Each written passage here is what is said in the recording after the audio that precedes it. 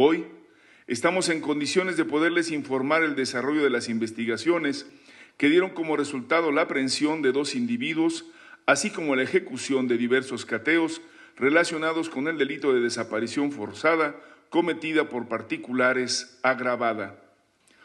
Uno de ellos, Iván N., alias El Cartier, propietario del establecimiento referido, donde desaparecieron dos jóvenes de 20 años, una mujer y un hombre, posiblemente tuvo la participación en los hechos, por lo que el agente del Ministerio Público solicitó y obtuvo la orden de aprehensión correspondiente, misma que fue cumplimentada.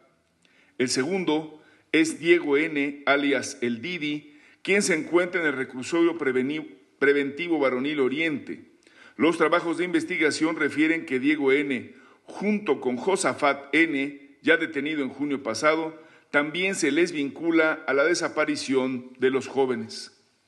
En forma paralela, como parte de las investigaciones por los hechos referidos, se llevaron a cabo cateos en tres inmuebles, donde fueron detenidas otras dos personas y se llevó a cabo el aseguramiento de sustancias con las características propias de la marihuana y cocaína, además de un arma de fuego tipo revólver, un vehículo y documentación diversa.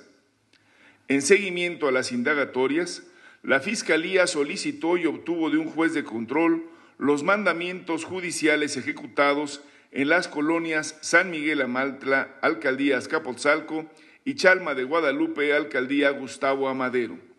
Dichas acciones permitieron la detención en flagrancia de Roberto N. y Eric N.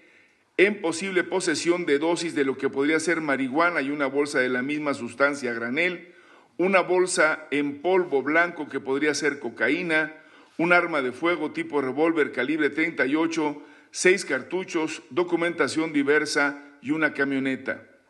Cabe señalar que tanto las órdenes de aprehensión como las detenciones en flagrancia se ejecutaron en estricto apego a los protocolos de actuación policial y con respeto pleno a los derechos humanos. Todo lo anterior realizado por personal de la Jefatura General de Policía de Investigación y la Coordinación General de Delitos de Alto Impacto.